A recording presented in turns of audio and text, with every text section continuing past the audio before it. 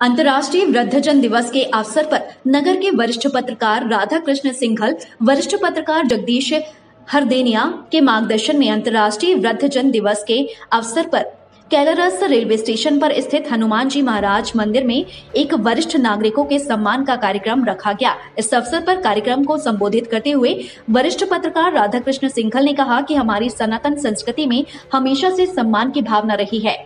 बड़े बुज़ुर्गों का भी सम्मान करने की हमारी पुरातन परंपरा है। आज हम उसी क्रम में इस कार्यक्रम का आयोजन कर रहे हैं। कार्यक्रम का सफल संचालन पत्रकार नरेंद्र सिकरवार ने किया। इस अवसर पर सम्मान प्राप्त करने वालों में माधवगढ़ मंदिर के महाराज जी संत रामचरणपुरी, अजयनंद महाराज सुखापुरी सहित अन्य दस वरिष्ठ जन नागरिकों का सम्मान किया गया।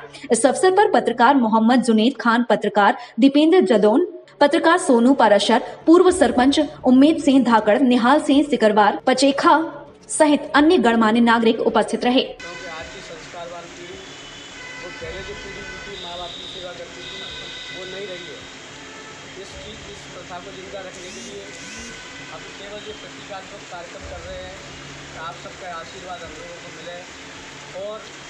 ऐसा ऐसा हमें प्रेरणा मिले, ऐसा हमें संस्कार मिले हम अपने बुज़ुर्गों का सम्मान क्योंकि बुज़ुर्गों का सम्मान करने से ही परिवार फलीभूत होता है, संस्कार मिलेंगे तो बच्चे भी फलीभूत होंगे।